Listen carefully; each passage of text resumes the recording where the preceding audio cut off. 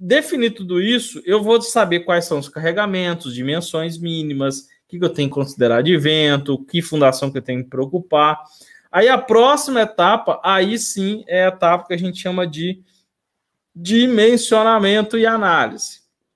Tá? Então, se você for usar um software, por exemplo, definir que vai ser concreto. Posicionei vigas e pilares. Adicionei os carregamentos de alvenaria, de sobrecarga, de vento, de qualquer outro carregamento, seja de telhado, de caixa d'água, os carregamentos que são inerentes da arquitetura e da, do posicionamento, né? Aí eu começo a fazer as análises. Será que a posição de pilares que eu imaginei, né, anteriormente, elas são suficientes? E nas análises, é, não é só para ver se passou ou não passou. As análises são para ver se o que você fez, que você concebeu lá no, na, na, fase anterior, que é de concepção, né? Se você concebeu, está seguro e se é realmente a melhor opção. Se ela está econômica, se ela atende ao que você precisa, se tem usabilidade. Então, nessa fase, eu preciso olhar principalmente duas coisas. Anota aí. Duas coisas que você não pode deixar de ver na parte de análise. Já há algum tempo, as nossas estruturas são avaliadas pelos estados limites. Na nossa Concreto Flix, eu vou detalhar isso muito melhor e vai ter material, PDF, enfim, vai ter mais coisas, recursos visuais. Eu vou detalhar isso mais miuçado e vocês vão fazer essa análise junto comigo, tá? Mas são duas coisas. Há algum tempo nós fazemos as verificações por estados limites, NBR 8681 tá? É, ações e combinações. E aí eu tenho, nos estados limites, eu tenho dois, estado limite de serviço e estado limite último.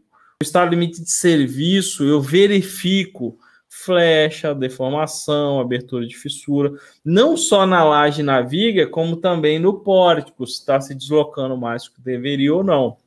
Estado limite de serviço, ele gera desconforto, ele prejudica o uso da edificação, ele gera uh, manifestações patológicas, ele prejudica muito a estrutura.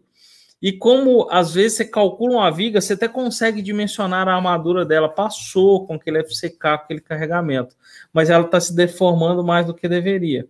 Aí adianta se sair detalhando a armadura se a flecha não foi atendida? Não adianta porque a armadura influencia muito pouco na flecha. Você precisa mudar as dimensões, tá? Aumentar um pouquinho a viga, girar um pilar, tem uma série de coisas aí de soluções para o estado limite de serviço. Mas a primeira coisa que você vê na etapa de análise é a primeira, é estado limite de serviço.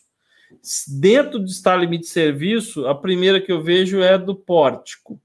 Se o edifício ou a residência está deslocando mais do que deveria ou não. Resolvido aí, aí eu vou para flecha e abertura de fissura. Tudo bem? Só aí você vai para a próxima etapa, que é verificação de estado limite útil. Porque na verificação de estado limite de serviço, deformação, muitas vezes você tem que voltar um passinho para trás.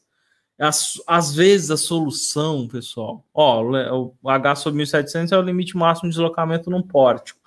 H I sobre 850 é, num pavimento. Precisa entender esses, a flecha a L sobre 250, em alguns casos L sobre 500.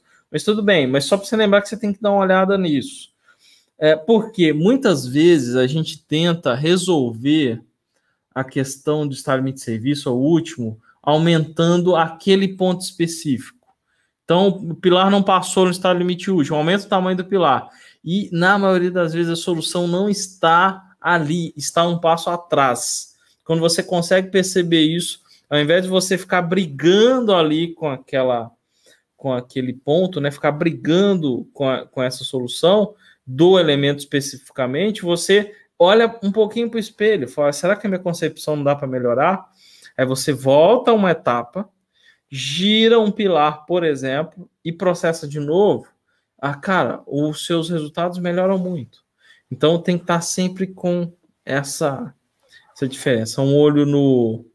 Ah, eu sou péssimo de ditados. Um olho no peixe, outro no gato, é isso? Mais ou menos isso. Então tem que dar uma olhada nisso.